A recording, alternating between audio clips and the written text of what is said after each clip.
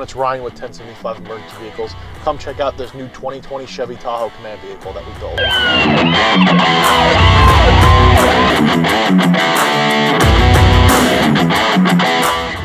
How you doing? It's Ryan with 1075 Emergency Vehicles. What we're looking at today is the 2020 Chevy Tahoe Command vehicle that we built for the Ocean View Fire Department.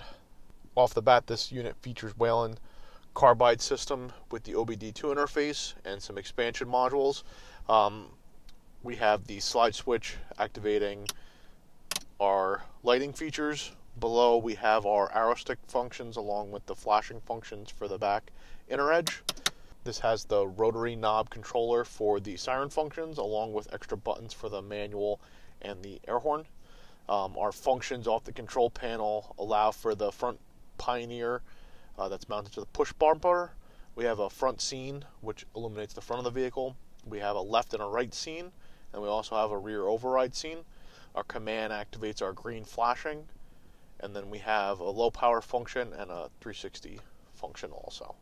Uh, the console is one of our angled series consoles that allows for their two radios to be mounted here, along with cup holders. Uh, their portable chargers recessed into the console faceplate along with the customer supplied flashlight installed. Up top, up top, we've uh, flushed their speakers for their radios into the headliner uh, with a special bracket that allows this speaker to be removed without any disassembly of anything. And then we have their dome light installed also. Uh, this vehicle features uh, primarily Whelen engineering warning lights and signaling.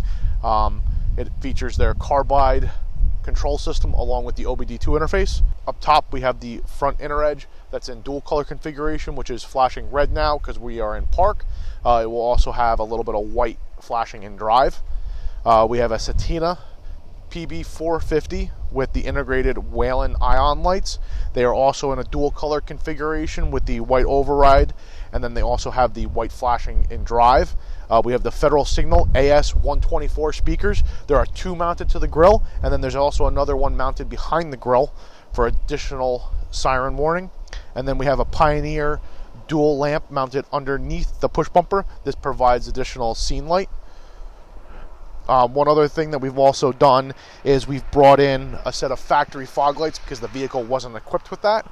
We've tied them into the carbide system and then triggered them to come on with the headlights all through the OBD2 interface without having the need to splice any wiring into it.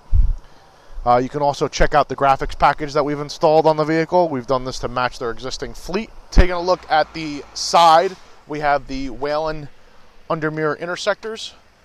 Uh, on the running boards, we have Whelen ions in dual color configuration along with the rear side window.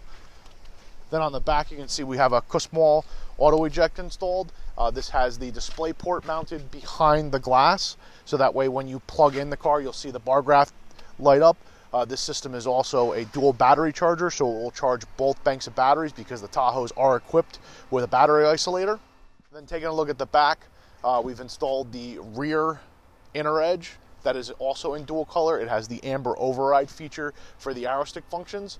Uh, we've enabled the factory taillight flasher, and then we've also installed Whelen ions that are in dual color configuration to the rear bumper. So with the back hatch opened, you can see we have a set of red Whelen ions with the grommet mount into the rear hatch.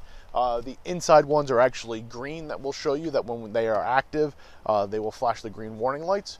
We've recessed their speakers as same as the headliner into the hatch, uh, and then they're tied into the rear radios. These help project the sound downwards at them when they're standing. They're not mounted on the side of the cabinet. And then we also have Tecniq dual color red white uh, compartment lighting that will shine down on the work area here for them. And then you can see that we have switches mounted to the rear panel that allow all of our warning lights to be shut off. We also have the green command function. So what that'll do is that'll enable the green flashing here. And then it'll also put the under mirror lights into a green steady mode. So taking a look at the rear cabinet of this vehicle, Um, this is one of our gear safe containment systems. So our filter is mounted onto the top. We have our sealed door and latch, and then we have an area that allows them to store their gear, their pack.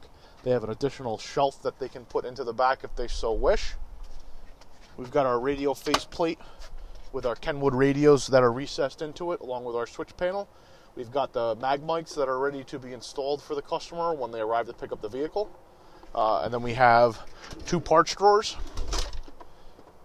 that allow them to store whatever equipment that they may need. And then below, we have another larger parts drawer that they may want to store an AED in. Uh, because of the design of the cabinet, they've elected a side flip command board. So, uh, unlike a traditional one that would lay flat, this one's on its vertical and it has gas pistons that ratchet up so that you can write from this instance and you're looking at your radios from this position. So taking a look at the back of the cabinet, this cabinet's tailored to fit the back seat so that any equipment that's here doesn't necessarily fall out and it gives them more storage at the bottom of the unit. On the side, we have their uh, radio chassis with the Kussmaul auto charger. It has an adjustable shelf over it with a cover that will allow them to cover their equipment. And then if they ever need to add more equipment, they can raise it up and they don't have to worry about any equipment sitting on top of their radio chassis. It allows for easy service and flexibility down the road.